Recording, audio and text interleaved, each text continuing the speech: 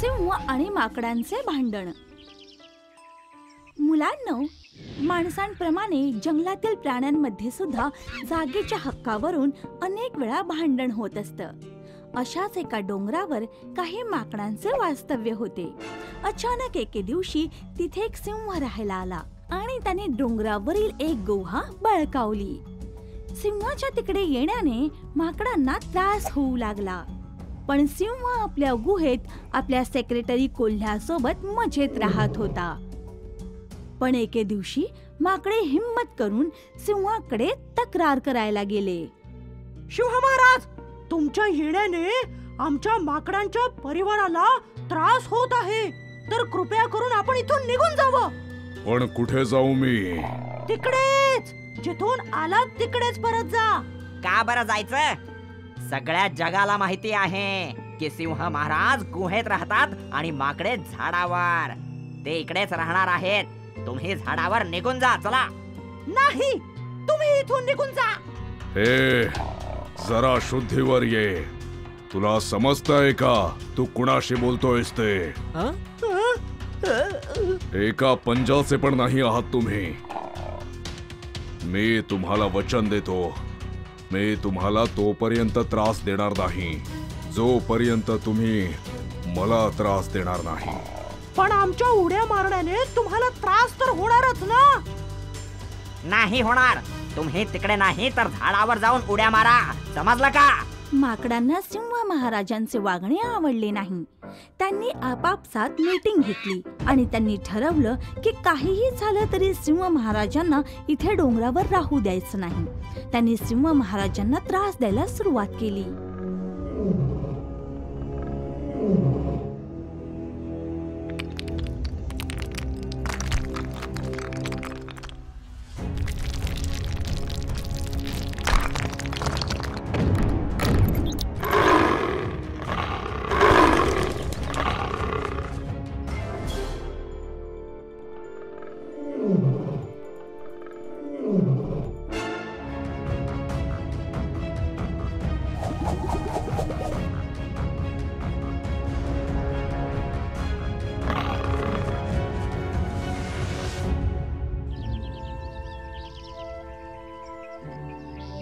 कोल्ह्या खाल्ल्यानंतर तलावावर पाणी प्यायला जाणं फार बोरिंग काम आहे. आजपासून तूच जाऊन पाणी आणून गुहेत ठेवत जा. जशी आज्ञा सिंह महाराज. आण बाळा पाणी. तुला नाही धडा शिकवला ना तर आमचं नावच बदलून टाकेन. आम्ही तुला पाणी प्यायला देणारच नाही. तू स्वतःच गुफा सोडून पळून जाशील. आणि त्यानंतर माकडांनी त्रास देण्याचा चंगच बांधला.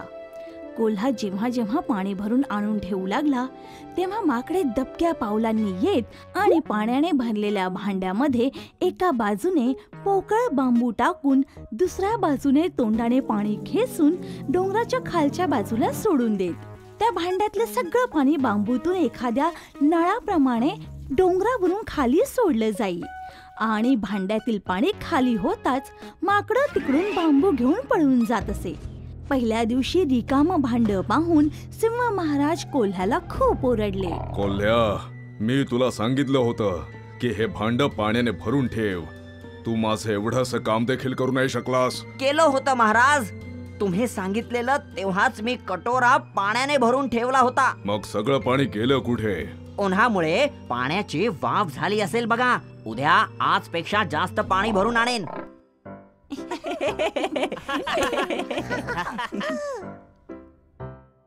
दुसऱ्या दिवशी कोल्याने भांड पाण्याने भरून आणल्यानंतर माकडं पुन्हा येऊन भरलेल्या भांड्यात पोकळ बांबू टाकून तोंडाने पाणी खेचून डोंगरावरून खाली सोडून दिले आणि सगळं पाणी वाहून गेलं. कोल्ह्या मी तुला सांगितलं होतं संपूर्ण भांड पाण्याने भरून ठेव. पण भांड पूर्णपणे रिकामा आहे.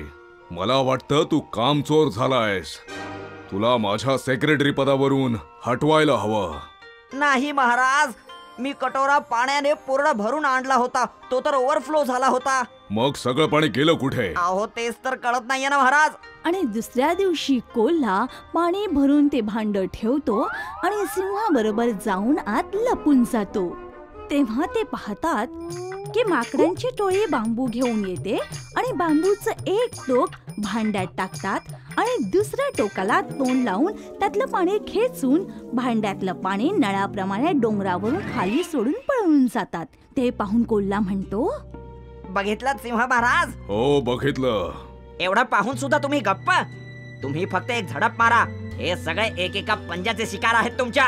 नाही बघूयात कधीपर्यंत हे आपल्यासोबत असं असं करतायत. उद्यापासून आपण अर्ध पाणी गुहेत ठेवायचं आणि अर्ध त्यांच्यासाठी बाहेर ठेवायचं. आणि मग त्यानंतर पुढे काही काळ हे असंच चालत राहिलं. एवढंच नव्हे तर एके दिवशी त्यांनी पाहिलं की सिंह महाराज त्यांना पाणी खाली टाकताना पाहत आहेत. त्यानंतर त्यांच्या लक्षात आलं की सिंह महाराज त्यांना पाणी खाली टाकताना पाहत आहेत. पण ते काहीच बोलत का नाही?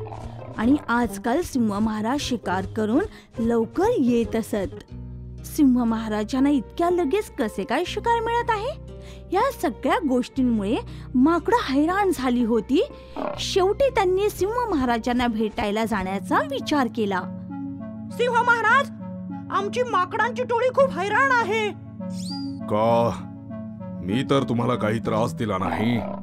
त्यामुळेच तर आम्ही हैराण आहोत महाराज की तुम्ही आम्हाला त्रास का देत नाहीत?